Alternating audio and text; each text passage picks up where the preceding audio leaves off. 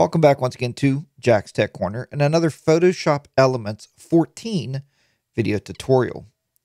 Now in this tutorial, I wanted to show you how to add texture to make your images have a little bit more pizzazz.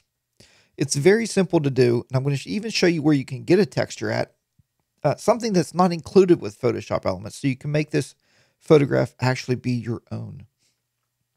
So the first thing we're going to do is go to Google, of course, and we're going to search for textures and go to images. The next thing I want to do here is I want to go to search tools, size. I want to make sure I have a large image. So I have a good uh, image with a lot of pixels to work with. Now what I want to do is just search through here and look for a texture that I would like to use on my image. And I haven't tried any of these yet, so we'll just see what happens here. Let's use something like uh, this texture right here. Uh, yeah, that looks pretty like a basket weave. That looks really nice. We're going to right click on that basket weave and say save image as. When we do, it's going to say, where do you want to save this at? Well, let's just go to the desktop here for now. And uh, I'll make a new folder called texture, texture, texture, and we'll create that. Then we'll just save it right there. Once you have your image saved, we're ready to go ahead and start working with our image. So here's our image. First thing we're going to do is duplicate that background layer as always, either using Command or Control J. And we'll duplicate that background layer. Now what I like to do here is we are going to go ahead and we are going to create a blank layer. So let's create a new layer. Oh, that's a layer mask. I'm sorry. Let's delete the layer mask. We want a new layer. So a little white tab in the front there, new layer. And now we're going to go up to simply go to File, and we're going to place we're going to place that texture right on top of our image. So we'll go to Desktop, Textures. Here's our texture that we downloaded, and we'll click on Place. And you can see there now where we're going to place that right on top of our image. When you do this, all you have to do now is stretch this texture out to cover your whole image. So let's do that. Stretch it out here. Actually, I think what we want to do first is, oops, we got rid of that image here. First thing we want to do is scale this down a little bit. So let's scale it down a little bit here. So we can see more of what we're working with on screen. There we go.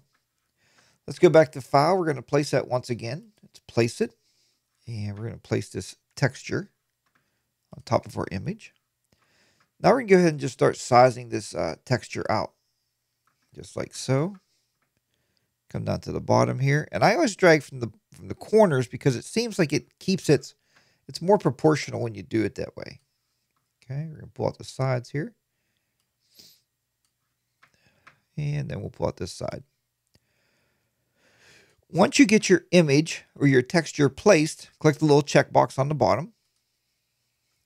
And now it's placed on top of the image. But now you're saying, well, wait a minute, Jack, we can't see the image underneath. Well, that's correct. So we're going to change the blending mode from normal to overlay. So go from normal to overlay. Now you can see that image coming through. You can see we have a texture now. It's ingrained into our background. But we want the line here to to pop. We want to see the lion without having the texture overlaying on the line. Or maybe you do. This is not a bad looking image. So that's pretty cool. Uh, actually, you could actually hang that on your wall the way it is. But we're going to change that. We're going to make that lion pop. We're going to do that by means of using a layer mask. So go up on top of your toolbar. It's the third tool over. It says add a layer mask. Click on your layer mask. We're going to paint with black to reveal what's under that grab ourselves a paintbrush here.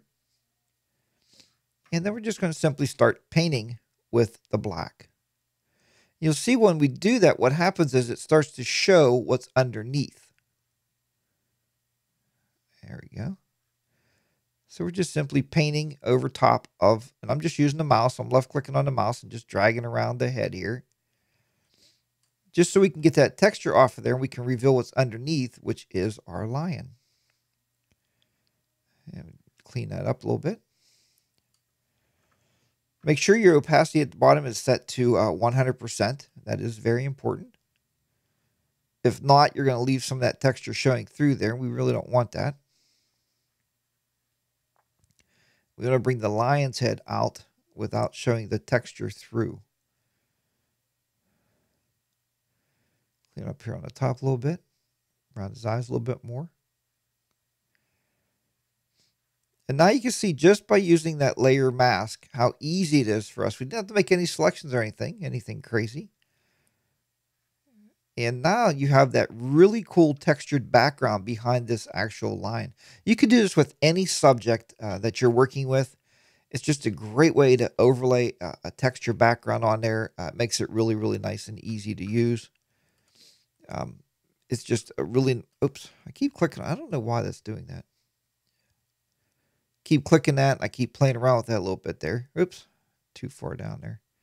You can actually, even if you want that overlay to be a little less uh, in your face, you can always drop the overlay opacity at the top of the screen just by sliding. But we're going to leave it at 100% because I think it looks pretty good right there. So, folks, oops, keeps my mouse keeps hanging up there for some reason. Folks, I hope you've enjoyed this video tutorial on how to create a uh, overlaid texture onto your photograph. And you can use this, uh, like I said, for any photo that you're going to have a main subject in.